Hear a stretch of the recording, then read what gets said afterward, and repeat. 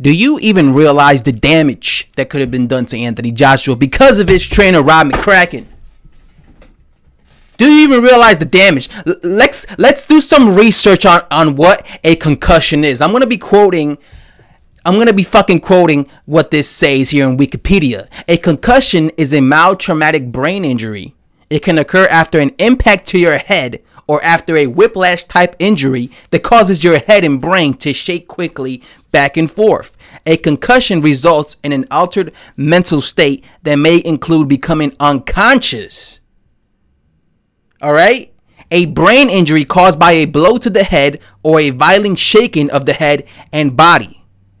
Symptoms may include headaches, confusion, lack of coordination, memory loss, vomiting, dizziness, ringing of the ears, and excessive fatigue.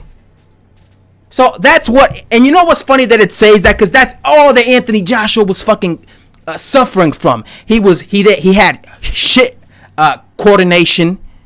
He says that he had memory loss. He does not remember what happens after round fucking three. Okay, he said he was dizzy. And you saw how fucking tired he was after he got dropped. He was fatigued, and all these symptoms happen when you get a concussion. And Rob McCracken knew exactly that Anthony Joshua had suffered a concussion, and he allowed him to continue.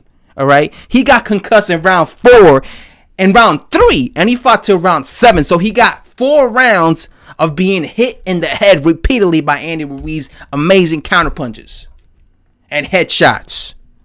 Because once Andy saw that he could drop Joshua with headshots, he was just throwing headshots all night for the rest of the fight. This is the kind of trainer that, that, that you want Anthony Joshua to have, who doesn't care that a guy's concussed for four rounds. That could cause some serious brain injury. When you get concussed, you know what you need to do when you get concussed? Go to the fucking medical. Get yourself First, it says to rest, go to the hospital, get yourself checked out. You're not supposed to be fucking sparring or boxing. And people even said before that Joshua was concussed before this fight. They said he was concussed before this fight, which that's even more stupid. He was concussed before this fight. That's even more stupid and dangerous. That means Rob McCracken knew he was concussed during the fight and before the fight. If that is true, if that is fucking true, what kind of shit trainer allows his fighter to continue to to go into a fight knowing he's concussed or continue a fight knowing he got concussed. These, these things aren't like it's not like a little fucking scratch where a dude gets uh, hit and then you see him swelling. It's fu- it's a it's a momentarily brain injury when you get fucking concussed, all right? It's a tra- it's a mild traumatic brain injury. All right? It's nothing it's not it's nothing light about that telling you, man, Rob McCracken is a shit trainer, and he's probably gonna be responsible for the rest of J- Joshua's downfall. Cause that one that one fight probably ruined Joshua. It probably ruined him forever.